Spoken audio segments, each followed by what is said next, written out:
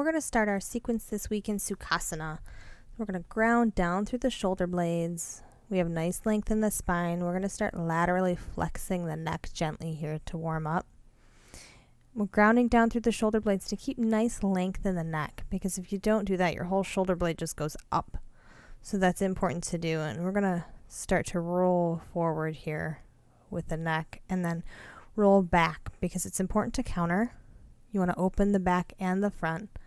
As we warm up here, we're going to bring our attention to the breath. We're going to do alternate nostril breathing. So we have brought our index and our middle finger to our palm and we're plugging off one side. So we're closing the nostril with the pinky and the ring finger and we're inhaling.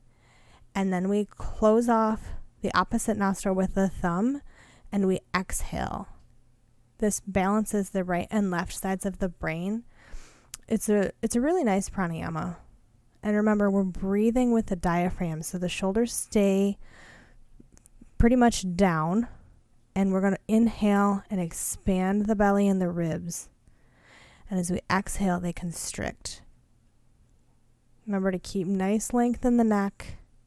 We're going to roll the shoulders down and back. Open the eyes. We're going to raise the arms up, and as we twist, we're going to exhale, hook on the knee. The back shoulder that is out of view is opening up. So the hand is on the mat there, and we're opening up that back shoulder, keeping length in the neck. So we're really pressing those shoulder blades away from the ears, and we're going to twist the other direction. We're grounding down through that knee that our hand is hooked on in the front. Keep nice length in the neck.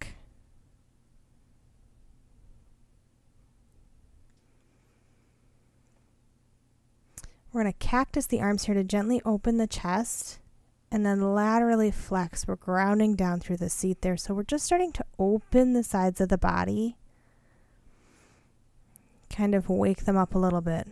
We're going to send the arms back and then forward. Now we're reaching. So we're getting a little stretch in the rhomboid area between the shoulder blades. We're going to repeat and remember to switch the arms. And then we're going to pull the arms back, keeping the palms facing forward and stretch the neck a little bit more. Just a nice variation on the hands. Kind of changes this where you feel the stretch a little bit. Keeping the shoulders down again.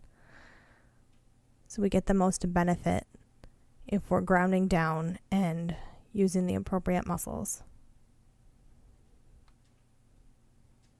We're going to come onto our backs here. We're going to come into knees to chest. So we're lengthening down through the tailbone or coccyx, all the way through the crown of the head, checking in with the full body before we bring the knees up and pull them into the chest. And then we're going to drop them to the side. And you have the option here to cactus the arms if that feels nice. You can twist the head the opposite direction of the knees or straight up or the same direction, whatever feels comfortable. And you want to notice where you're feeling this. So typically you're going to feel this in that QL, like the lower ribs into the hip. And if you can if you can breathe with this, it feels really nice and you'll be able to feel those ribs drop.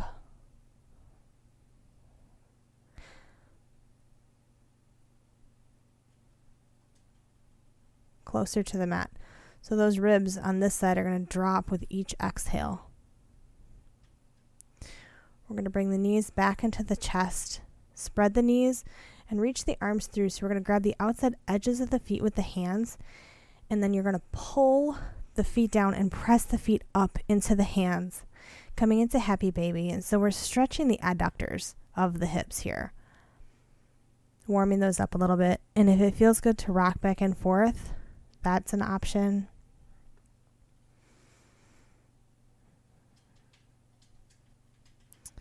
We're going to bring the bottoms of the feet together and then down onto the mat. So we're cactusing the arms here. That's an option. You can also bring a block or a bolster or blankets if needed underneath the knees for support.